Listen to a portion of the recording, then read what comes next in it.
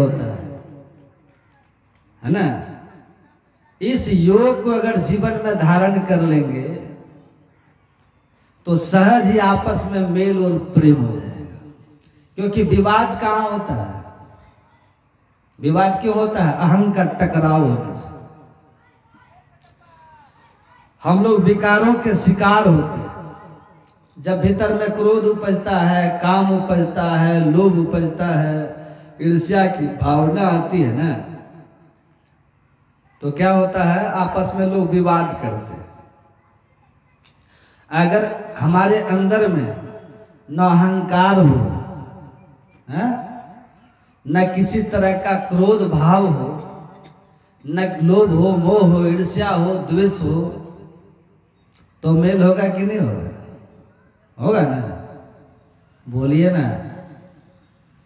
मोह होगा, मेल टूट जाएगा। भाई भाई, में पूज महर्षि संत सेवी परम जी महाराज कहते थे कि दो भाई थे, आपस में बहुत मेल था। ये योग देखिए, केवल मोक्ष ही नहीं देता है, जीवन में भी आपको सुखमय जीवन देता है। जीवत ही करो आशा, जीते जी मुक्ति, जीते जी दुखों से छुट्टी। जीते जी स्वर्ग की अनुभूति, जीते जी परमानंद की अनुभूति। ये योग देता है। स्वामी राम तीर्थ कहते थे, जब तक तुम अंधकार में रहते हो, किसी से आपका स्थायी मेल नहीं हो सकता है। ठीक है? स्वामी राम तीर्थ की पुस्तक में लिखा है, आँख बंद करने पर जो घोर अंधकार देखते हो, इस अंधकार में रहते हुए अस्थाई मेल आपका किसी से नहीं होगा। आकाशी बिजली जैसे चमक करके समाप्त हो जाती है दामिनी दमकी रहे घन माही। वैसे ही ये संसार में किसी से भी आपका मेल हो, वो टिकेगा नहीं।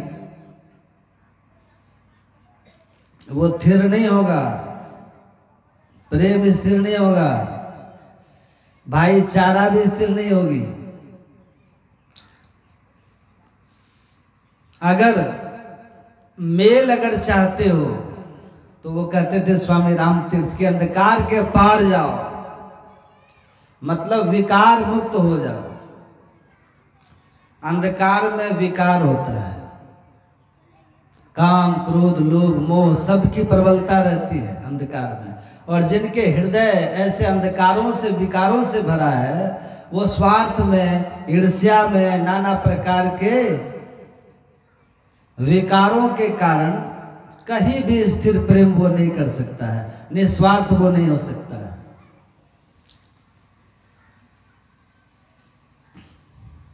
तो संसार में कुछ संजीव जी महाराज कहते थे, दो भाई थे, बहुत प्रेम था।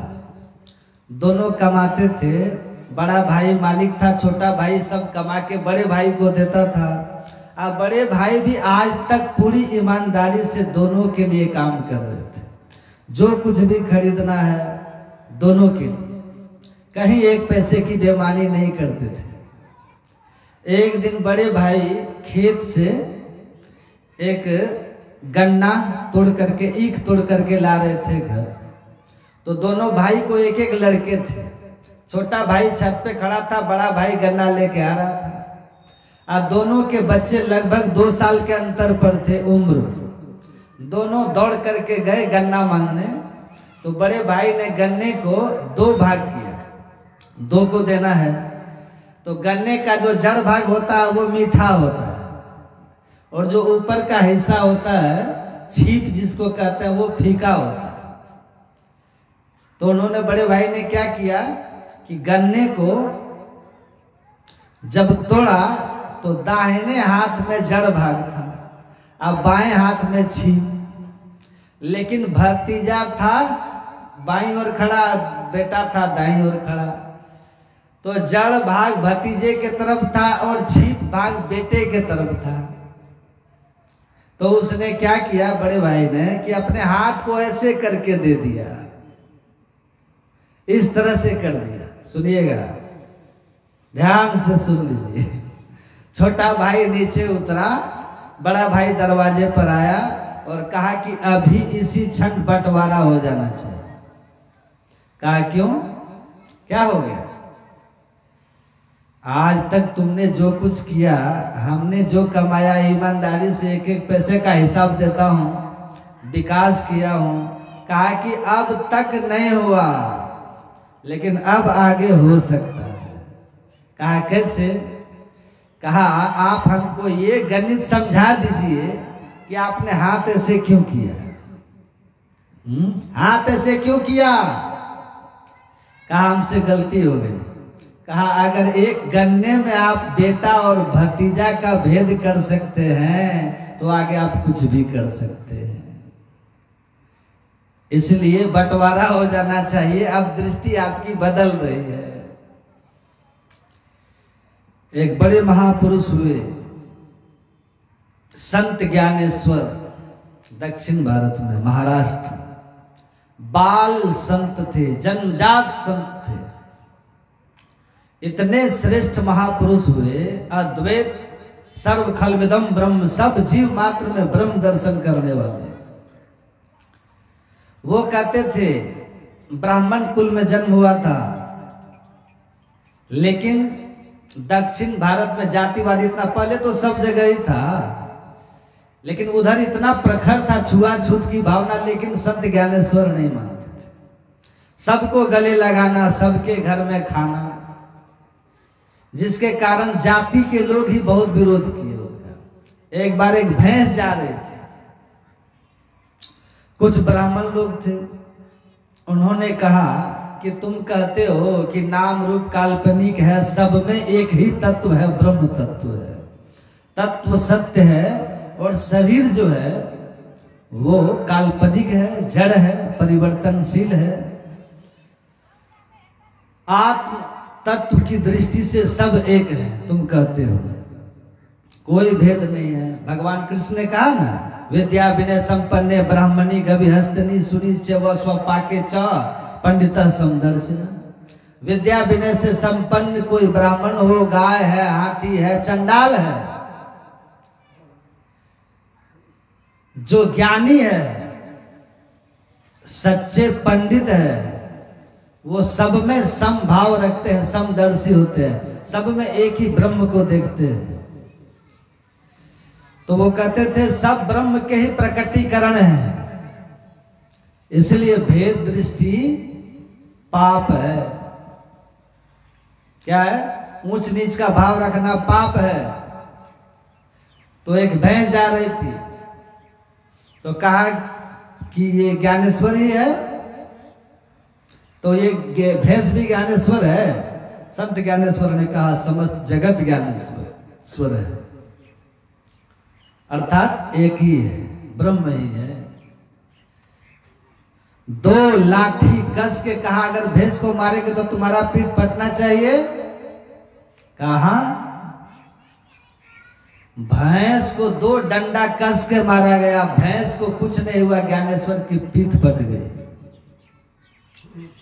सोचिए, इतने महान जन्मजात योगी थे संत ज्ञानेश्वर।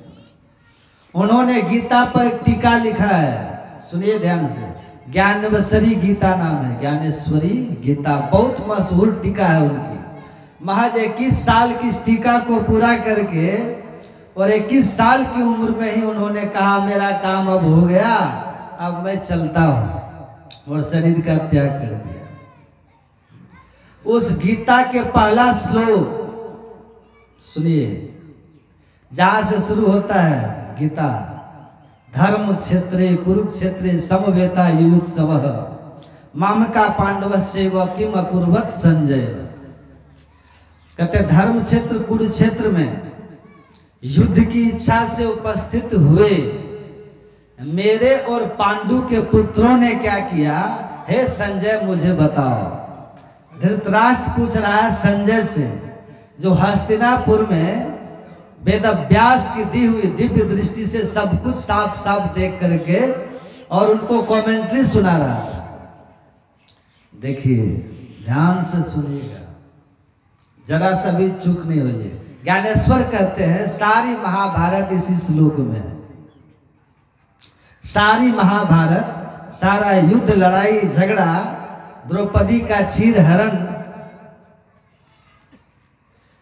राज अज्ञातवास, जो कुछ भी हुआ है, पांडवों के साथ सारा का सारा विवाद इसी श्लोक में छिपा हुआ है। संत ज्ञानेश्वर कहते हैं, किस श्लोक में? माम का पांडव से, मेरे और पांडु के पुत्र ने। धृतराष्ट्र को दुर्योधन अपना पुत्र दिख रहा है। युधिष्ठिर अपने भाई का पुत्र दिखता है। और मेरा पुत्र, मैं और मोर तोड़ते माया। मेरा पुत्र का जो मोह है, उस मोह ने उसको ऐसा पुत्र का मोह, मेरा पुत्र मेरा पुत्र, ये मोह उसको ऐसा अंधा कर दिया है, ऐसा अंधा कर दिया, धृतराष्ट्र को कि उस मोह की बंधी हुई पट्टी, उसको युधिष्ठिर का कोई गुण देखने नहीं देता था।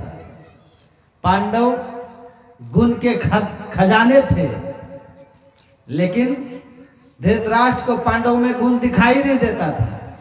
और दुर्योधन, नाम भी दुर्योधन और काम भी दुर्योधन। दुष्ट था। लेकिन पुत्र के मोह में अपने पुत्र की दुष्टता उसे दिखाई नहीं दे रही थी।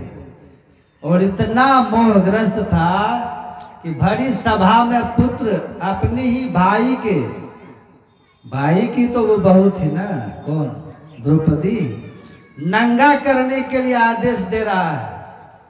अब वो राजा थे, एक बार कह देते कि नहीं, ये नहीं होगा तो ये, उसी समय बात खत्म हो जाती।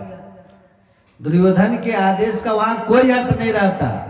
उस राजा के आदेश के सामने। और फिर वो कुछ कर भी नहीं सकता था, क्योंकि भीष्म फिर राजा की तरफ़ से खड़े हो जाते, द्रोणाचार्य खड़े हो जाते, और मजबूर होकर के द्रौपदी का चीर हरण रुक जाता। लेकिन इतना बड़ा उसको मोह था, कितना बड़ा पाप उसका पुत्र कर रहा था, लेकिन तब भी उसको दिखाई नहीं दे रहा। दिखाई नहीं दे रहा था, इसलिए वेदव्यास ने उसे फटकारा था कि तुम्हारी ये जो अंधी आँखें है ना, इससे हस्तिनापुर को कोई दिक्कत नहीं होगी। यद्यपि तुम सिंहासन पर हो, अंधे हो तुम, स्वयं तुम चल नहीं पाते हो। राजा को राज्य की रक्षा का भार होता है, लेकिन तुम अपने अकेले चलने की स्थिति में नहीं हो, रास्ता दिखाने के लिए तुझे सहारा चाहिए। तब भी हस्तिनापुर को कोई खतरा नहीं है। क्योंकि भीष्म जैसे पांडवों जैसे वीर से ये राज्य सुरक्षित है। इसलिए धृतराष्ट्र कोई खतरा नहीं है। लेकिन तुमने जो अपने विवेक की आँख पर जो मोह की पट्टी बाँध रखी है, पुत्र मोह की हस्तिनापुर के लिए विनाश का कारण होगा। विनाश का कारण होगा। तो हमारे जीवन में सारे विकार, ये मोह मोह सकल व्याधिन कर मूला। अज्ञानता। मोह का अर्थ क्या होता है? ज्ञानता और अज्ञानता कहाँ होती है? बंद अंधेरे कमरे में रस्सी को देख करके आपको सांप सा भ्रम होता है कि नहीं? और आप डरते हैं कि नहीं डरते हैं रात को? अब प्रकाश अगर है तो यहाँ किसी रस्सी को देख करके सांप लगेगा, वही भ्रम होगा। इसलिए जब तक आप अंधकार में रहेंगे, आँख बंद किए करके जब तक आपके अंदर में अंधेरा दिख रहा है, तब तक आप विकार ग्रस्त रहेंगे। आपसे भूल चूक होती रहेगी इस नगरी में, तिमिर समाना भूल भरम हर बार। कोई न कोई भूल होती रहेगी, उसका फल आपको नरक और दुख के रूप में, अपजस के रूप में आपको भोगना ही पड़ेगा। खोज करो अंतर उजियारी, छोड़ चलो नौ द्वार खोजिए आप अपने अंदर में, प्रकाश। और नौ द्वारों से ऊपर उठ जाइए। नौ द्वार से ऊपर उठ के दसम द्वार में जाइए अंत प्रकाश पाइए। पूजपात महर्षि संत सेवी परमहंस जी महाराज कहते थे कि जैसे रात में दीपक जलाते हो तो कीड़े फतंगे आते हैं, उसमें जल करके खत्म हो जाते हैं। उसी तरह जब अपने अंदर में प्रकाश का दिया जलता है तो काम क्रोधादि विकार जो हैं, ये कीड़े फतेंगे, उसमें आकर के जल जाते हैं और हमारा हृदय पवित्र हो जाता है। आप लोगों ने सुना होगा, संत के रूप में बड़ी प्रसिद्धि जिन्होंने पाई थी, दुर्भाग्य से आज वो जेल में आसाराम बापू। कुप्पा घाट आश्रम आए थे तो महर्षि संत सेवी जी महाराज बाद में भी आए थे पूज आचार्य श्री के समय में भी आए थे पूज हरनंदन बाबा के समय में भी आए थे। तो इनके समय में जब वो पूज संत जी महाराज के समय में जब आए थे तो मैं भी था तो उन्होंने पूजपात के कमरे में जाकर के कहा, आपके कमरे का वातावरण तो बड़ा शांत है। अगर आप देसी गाय का घी, देसी गाय के दूध का जो घी होता है, उसके दिया जलाएँ तो ये कमरे का वातावरण और पवित्र हो जाएगा। पूज्यपात महर्षि संतसेवी परमहंस जी महाराज ने कहा कि बाहर दिया जलाकर, घी के दिए जलाकर कमरे का वातावरण साधु शुद्ध नहीं करता। साधु के हृदय में दिया जलना चाहिए। हृदय में दिया जलना चाहिए तो भीतर का वातावरण शुद्ध हो जाएगा और जिसका भीतर का वातावरण शुद्ध हो जाएगा, वो जहाँ बैठ जाएगा, वहाँ का वातावरण शुद्ध कर देगा। इसलिए संत महापुरुष के लिए कहा कि वो जहाँ बैठते हैं, जो कुछ गंधी दे नहीं तो भी वास, सुवास। क्योंकि अंदर में कोई विकार ही नहीं है। जो भी उसके शरीर से उत्सर्जित हो रही है आभा, वो सात्विक आभा है। उस आभा में आप आएँगे तो सहज शांति आपको प्राप्त हो जाएगी। महर्षि रमन बिना बोले दुनिया में फैल गए। तो उन्होंने कहा इन्होंने कहा कि कबीर साहब ने कहा, अपने घट दिया ना बारू रे, नाम का तेल सूरत के बाती ब्रह्म अग्नि उदगार ये अपने में दिया जलाओ। योग यही है। एक दृष्टि कर संसरी जाने, योगी कहिए सोई अभी सुन रहे थे ना? तो योग का पाठ हुआ। अंतर्दृष्टि की युगल धारों को एक करके इस अंधकार के वज्र कपाट को तोड़ दीजिए। अंत प्रकाश हो जाएगा। अंत प्रकाश में विकार मर जाएँगे, निर्विकार जब आप हो जाएँगे तो संसार से निस्वार्थ प्रेम कर सकेंगे। निर्विकार व्यक्ति ही संसार के प्रति निर्विकार प्रेम कर सकता है। हेतु रहित जगजुग उपकारी तुम तुम्हार सेवक असुरारी। परमात्मा के जो जानने वाले होते हैं, विकार मुक्त, सट विकार, जित अनग अकामा, अचल अकिंचन, सुचि सुखदामा काम, क्रोध, लोभ, मोह, मद, मात्सर्य। छह विकारों को जीते हुए संत संसार की कामनाओं से मुक्त वो होते हैं। वे अपने आप में सुख के धाम होते हैं। आप लोग, बद्री धाम, केदार धाम कौन कौन धाम, वेदनाथ धाम जगन्नाथपुरी है और कौन धाम है जी? गंगोत्री धाम, यमुनोत्री धाम है ना? बहुत सारे धाम का नाम सुने होंगे, लेकिन सुख का धाम कहीं देखे? सुख का धाम कहाँ है? गोस्वामी तुलसीदास जी महाराज बता रहे हैं सट विकार जित, अंतर साधन करके, योग साधन करके, जिसने अपने अंदर के विकारों को जीत लिया। अनग मतलब पाप रहित खुद को कर लिया। आकामा मतलब कामनाओं से मुक्त हो गया अचल, अर्थात सत्य में जिसकी एकदम निष्ठा स्थिर हो गई। सत्य में जिसकी निष्ठा स्थिर हो गई। गुरु तेग बहादुर की गर्दन कट गई, लेकिन अपने सत्य के साथ वो खड़े रह गए। गर्दन जाने दिया, सत्य का संग नहीं छोड़ा। अचल इसी को कहते। सुकरात को जहर का प्याला पीना पड़ा, पी लिया। सिद्धांत से समझौता नहीं किया। महावीर स्वामी, गुरु, जितने भी संत हुए, कबीर बहत्तर कसनी स्वीकार किए, सत्य को नहीं छोड़ा।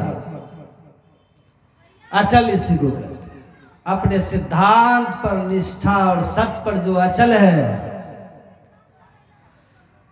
ऐसे संत जो होते हैं, एकमात्र सुख के धाम होते हैं।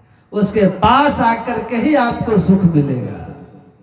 और इनकी बताई हुई युक्ति से जब आप साधन करने लगेंगे तो भजन में होता आनंद आनंद। आपके अंदर में आनंद बढ़ने लगेगा, सुख बढ़ने लगेगा। और बढ़ते बढ़ते एक दिन आप परमानंद को पा देंगे। इसलिए ये जो योग है इसका ज्ञान संत बताते हैं और बहुत कठिन नहीं है। राजयोग आप लोग सुने होंगे योग मह योगी राज महाराजा, जोग मह जोगी तप मह तपेश्वर गिरस्त मह भोगी। ध्याय ध्याय भक्त सुख पावा, नानक तिस पुरु का किन अंत न पावा। नानक सतगुरु भेटिया पूरा होवे जुगती। हसन दिया, खेलन दिया, खानन दिया, पहनन दिया, अब पीछे होवे मुक्ति। ये ऐसा सहज योग है, राज योग है, श्रेष्ठ योग है। और सबसे होने वाला योग है।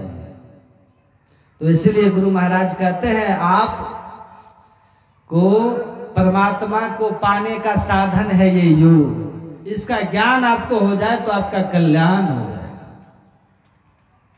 सबसे श्रेष्ठ, भगवान श्री कृष्ण का तपस्वी भी दिखो योगी ज्ञानी भ्योपी मतोधिक कर्मी भ्यश्च धिको योगी, तस्मात योगी भवार्जुन। भगवान कृष्ण कहते हैं, बड़े से बड़े तप करने वाले तपस्वी तपेत सहस्राणी एक पाद स्थितो न रहा एक पैर पर खड़ा होकर कोई एक हज़ार वर्ष तप कर ले। ऐसे तपस्वी से ये ज्ञानी, ये योगी श्रेष्ठ होते हैं।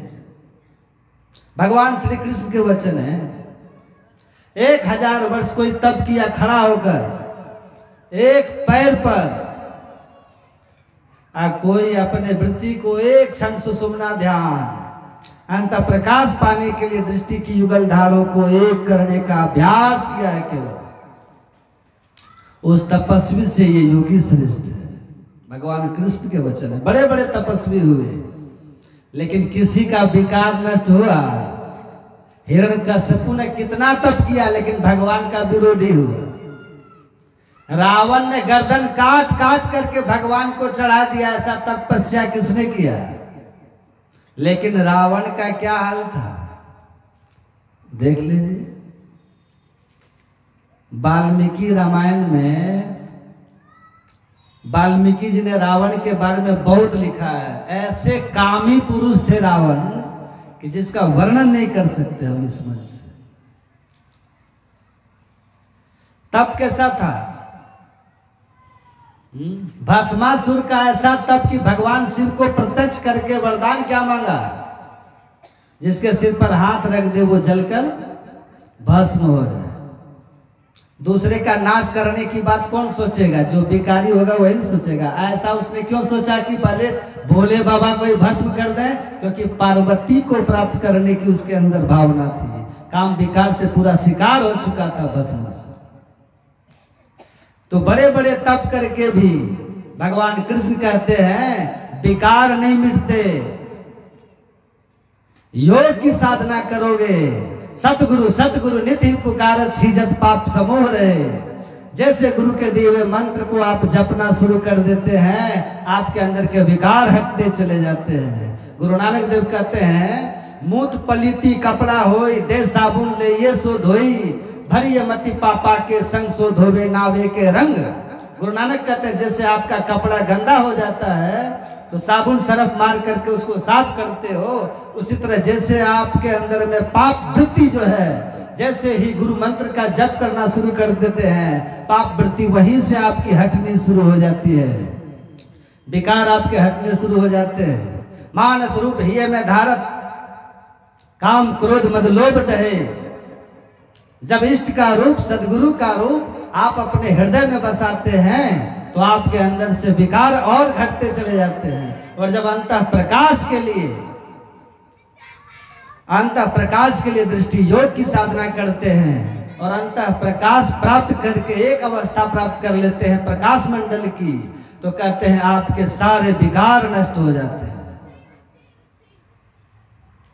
तो तपस्वियों से ये योगी श्रेष्ठ है। ज्ञानी व्योपी मतोधिक और केवल शास्त्रों को जानने वाले ज्ञानियों से ये योगी श्रेष्ठ होते हैं। सारे शास्त्र आपको याद है। बैसाख सकलो साख ग्रंथन की रहे जानत को। अध्यान बिनु मन अखिर जो तो शांति नहीं पावे सो। समस्त धर्म ग्रंथों का ज्ञान भले आपको हो जाए, लेकिन अगर आप ध्यान नहीं करते, योग नहीं करते तो आपके ये ज्ञान कोई अर्थ नहीं रखते। मैंने पढ़ा है। योग वासिष्ठ में भगवान राम से महर्षि वशिष्ठ ने कहा था, हे राम, समस्त धर्म ग्रंथों को किसी ने कंठस्थ कर लिया हो, लेकिन प्रेम भक्ति जल बिनु रघुराई, अभी अंतर मल कबू न जाई। लेकिन प्रेम भक्ति के जल से जिसने अपने हृदय को नहीं सिंचित किया, उसके समस्त धर्म ग्रंथ मृत्यु काल में ऐसे ही व्यर्थ हो जाते हैं, उसका साथ छोड़ देते हैं। जैसे पंख उगाने पर पक्षी के बच्चे अपने पूर्व माता पिता के घोंसले का त्याग कर देते हैं। अर्थात तो वो ज्ञान उसके काम नहीं वो ज्ञान काम नहीं आता। आदित्यो चतुरो वेदान बहुशास्त्राणी नेक ब्रह्म तत्व में न जाना जानाते धर्विपाक रसम यथा। ऐसे ज्ञानी उस कलछुल की तरह है, जो बहुत तरह के व्यंजनों में चलते तो हैं, पर किसी का स्वाद वो नहीं जानते। पर इतना ज्ञान तो सबको होना ही चाहिए कि ईश्वर का स्वरूप क्या है।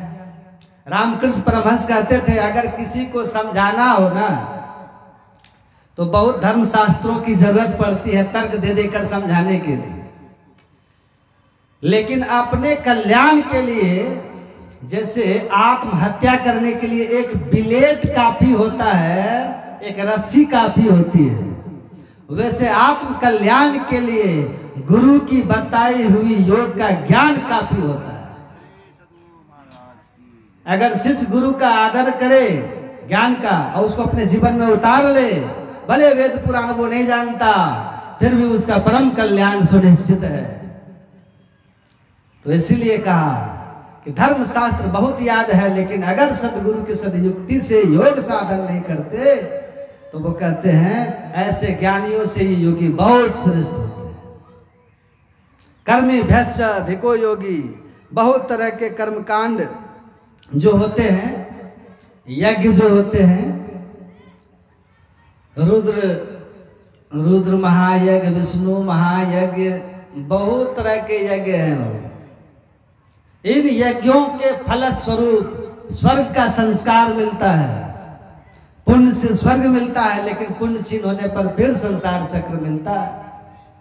लेकिन इस उन कर्मकांडियों से ये योगी बहुत श्रेष्ठ होते हैं। क्यों? क्योंकि भगवान कहते हैं, इस योग के आरंभ का नाश नहीं होता। नेहा विक्रम नास्वस्ति प्रत्यवायोर न विद्यते स्वल्पम अभ्यस धर्म से त्राय तो महत्व भया। इस योग का जिसने आरंभ कर दिया, जो नित्य नियमित बैठ करके ध्यान करते हैं, इसका फल क्या होता है? इसका थोड़ा थोड़ा अभ्यास भी महाभय। उस कर्म कांड के यज्ञ का फल इसका संस्कार स्वर्ग में ले जाएगा। पुण्य छीन होगा, छीने पुण्य मर्द के विसंति।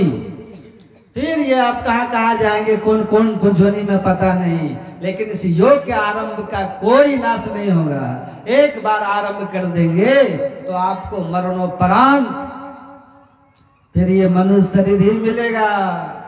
और जब तक आप परम पद तक नहीं पहुँच जाएँगे, इसका संस्कार मोक्ष में जाने का ये मोक्ष पद तक पहुँचा कर के ही आपको दम लेगा इसलिए भगवान कहते हैं, शास्त्र ज्ञानी हो, चाहे तप तपस्या करने वाला हो और चाहे बहुत बड़े बड़े यज्ञ का कोई करने वाला हो। हे अर्जुन, इन सभियों में सभी से जो योगी होते हैं, जो बैठ करके ध्यान साधन करते हैं, सबसे श्रेष्ठ होते हैं।